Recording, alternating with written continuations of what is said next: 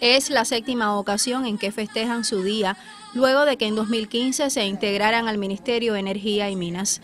Para el colectivo Cienfueguero no han sido pocos los desafíos en esta industria, que a pesar de las restricciones del combustible y la disponibilidad técnica, mantienen el procesamiento del crudo, así como sus derivados. Obtenemos una gama de combustible que básicamente estamos hablando de gas licuado, estamos hablando de turbocombustible, estamos hablando de diésel, estamos hablando de gasolina, fuel oil. Esos combustibles a nivel central se hace un balance que lo lleva a CUPE y CUPE es quien se encarga entonces la distribución de ese combustible, la comercializadora, la empresa nacional comercializadora, de llevarlos a los diferentes lugares y ponerle el combustible donde se necesite.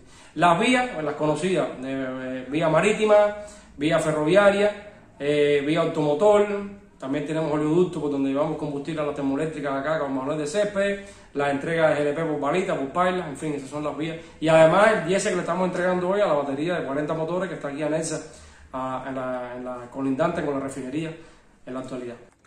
Ante la consideración del colectivo en este importante centro fueron reconocidos trabajadores con 20, 25 y 40 años de entrega en este quehacer.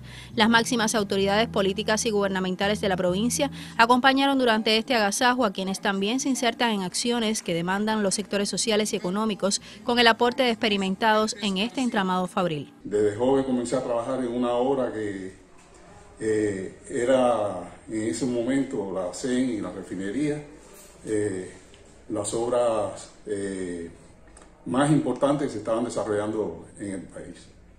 Tuve esa posibilidad y creo que, la he aprovechado para aumentar mi, mis conocimientos y ayudar más al desarrollo de, de la empresa y del país. Haciendo proyectos, a veces hemos hecho algunos externos, pero la mayoría son los proyectos internos de aquí de refinería. Lo mismo de, lo que haya que hacer de, de, tanques, reparación de tanques, cada cual en su especialidad. Así trascendió la jornada de reconocimiento a quienes dedican gran parte de su tiempo a la industria del petróleo en Cienfuegos. Mayelín del Sol, Notisur.